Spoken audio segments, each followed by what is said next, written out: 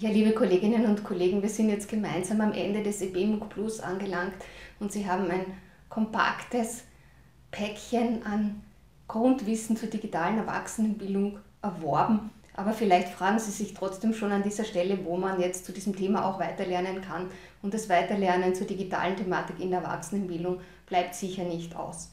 Und da kann man sich natürlich von interessanten Angeboten inspirieren lassen oder von dem gefühlten Bedarf im Alltag aber man könnte es auch systematischer angehen und dazu möchte ich Ihnen jetzt noch einige Möglichkeiten vorstellen. Und zwar meine ich damit Selbsttests oder Selbstevaluations- oder Selbsteinschätzungsinstrumente, die speziell für Unterrichtende in diesem Bereich entwickelt worden sind. Der erste Selbsttest, den ich Ihnen vorstellen möchte, stammt aus dem Projekt MacWeb und hier haben das Deutsche Institut für Erwachsenenbildung und die Universität Tübingen zusammengearbeitet, um einen Test zu entwickeln, der recht einfach aufgerufen und durchgeführt werden kann. Sie bekommen da auch ein ausführliches Feedback dazu und Ihr Wissensstand und Selbsteinschätzungsstand wird da auch mit dem der anderen Teilnehmenden verglichen. Das heißt, Sie kriegen eine Rückmeldung in Relation zur Fachcommunity. Eine weitere Möglichkeit wäre das Instrument, das dem Referenzrahmen DICCOMP EDU entspricht. DICCOMP EDU ist der Referenzrahmen für Unterrichtende entsprechend dem europäischen Kompetenzmodell DICCOMP für Anwender und Anwenderinnen. Und dazu passend wurde ein Selbsteinschätzungsinstrument entwickelt, das seit 2018 auch auf Deutsch vorliegt und zugänglich ist. Und dieses DICCOMP-EDU-Verfahren ist eben kein Test, sondern ein reines Selbsteinschätzungsinstrument. Man bekommt aber auch hier ein detailliertes Ergebnis und das Besondere dabei ist, dass Sie wirklich für jede Teilkompetenz ausführliche Tipps und Empfehlungen bekommen, wo Sie in Ihrem konkreten Fall mit Ihrem Stand am besten weiterarbeiten könnten und wie Sie in diesem Bereich Ihren Kompetenzstand verbessern könnten.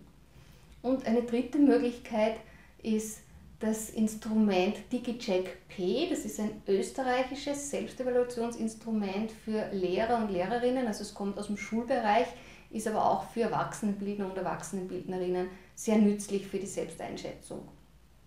Die Basis hierbei ist das DigiComp P Kompetenzmodell, das von der Virtuellen Pädagogischen Hochschule entwickelt worden ist.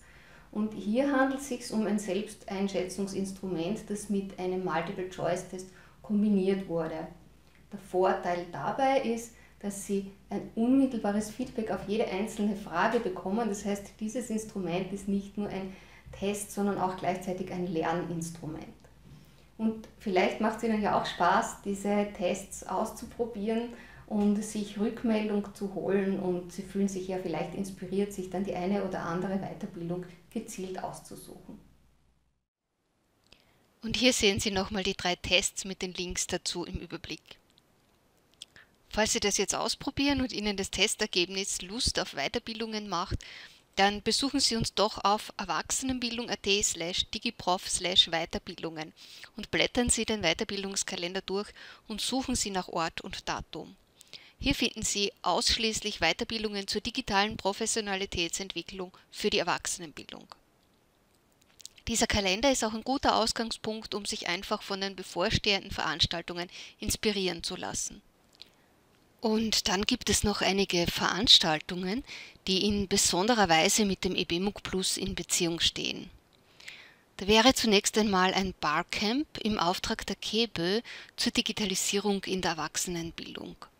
Wenn Sie nach dem EBMUG Plus spezielle Themenwünsche haben und einen Austausch dazu suchen, dann kann ein Barcamp als offenes Format ganz ideal dafür sein. Wer den EBMUG Plus mit uns persönlich vertiefen und praktisch üben möchte, kann das von 18. bis 20. Mai ebenfalls am BIFIP tun, denn dort findet der dreitägige Workshop Grundlagen digitales Lehren und Lernen statt. Und von 29. bis 30.06. gibt es am gleichen schönen Ort ein Entwicklungslabor, also eine Art Tagung zur digitalen Erwachsenenbildung. Danach ist für Herbst 2020 ein Workshop zum Thema Formateentwicklung geplant, wo es um die Weiternutzung von MOOCs und anderen offenen Bildungsressourcen für neue Formate geht. Und ein weiteres Barcamp im reinen Online-Raum ist auch noch vorgesehen und soll ebenfalls das Thema Erwachsenenbildung im digitalen Zeitalter behandeln. Zum EB-Camp und zum Entwicklungslabor am BIFAB möchte ich an dieser Stelle die Veranstalterinnen einladen, ein paar Worte zu sagen. Zuerst darf ich Gabi Filzmoser von der AG Bildungshäuser einladen, die im Auftrag der KEBÖ das Barcamp im Mai organisiert und durchführt. Ja, danke Birgit und danke an die KEBE, die, die dieses Barcamp wieder finanziert, dass wir das durchführen können und danke an das BIFAB, die die Räume zur Verfügung stellen. Wir haben uns gedacht, wir machen eben das Barcamp für Erwachsenenbildnerinnen und führen das eben zum Thema Digitalisierung in der Erwachsenenbildung durch.